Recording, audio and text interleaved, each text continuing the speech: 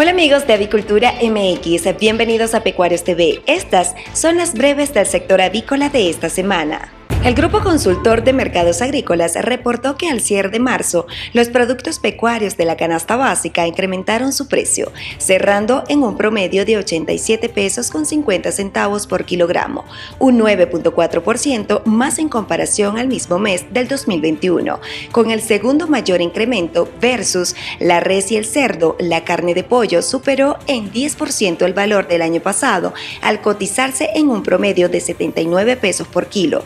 Esto obedeció a alzas en el costo del pollo vivo pagado a los productores. El tema de la influenza aviar en Estados Unidos nuevamente esta semana fue el gran tópico en avicultura.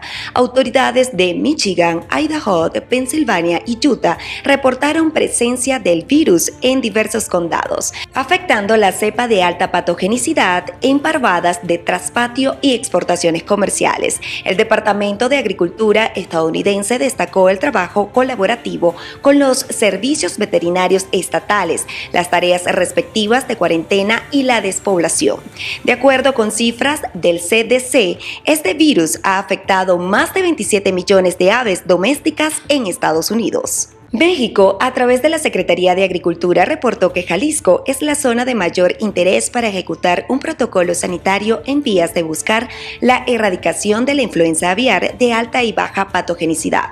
Se adelantó un esfuerzo coordinado a nivel federal y estatal en las más de 600 unidades de producción avícola en la entidad, basándose en un operativo de inspección sanitaria, mismo que ya arrancó el año pasado, disponiendo incluso de un recurso estatal cercano a los 2 millones de pesos para fortalecer los trabajos de vigilancia epidemiológica. Al cierre del primer bimestre del 2022, el comercio agroalimentario internacional en México acumuló un valor de 14.050 millones de dólares, en donde las exportaciones representaron más del 55%.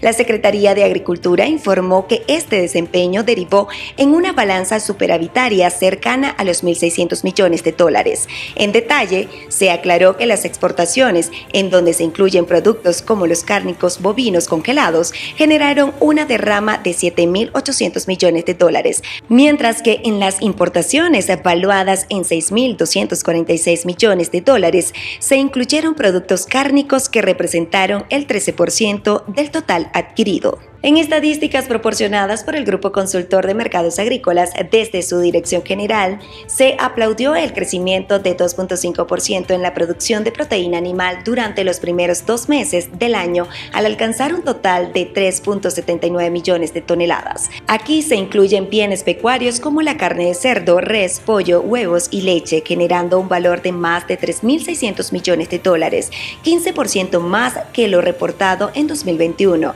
Sin embargo, y en alusión a la autosuficiencia, aún las necesidades de consumo superan la oferta, pues este rubro registró una necesidad de 4.5 millones de toneladas. Muchas gracias por acompañarnos en la breves del sector avícola. Les recuerdo que ya pueden agregarnos a sus contactos de WhatsApp para recibir al momento la información más relevante del sector. Solo escanea el código QR que aparece en pantalla para ser parte de la comunidad más selecta de noticias, artículos, y más, porque recuerda que Avicultura MX es el sitio en donde se informan los que saben. Nos vemos la próxima semana.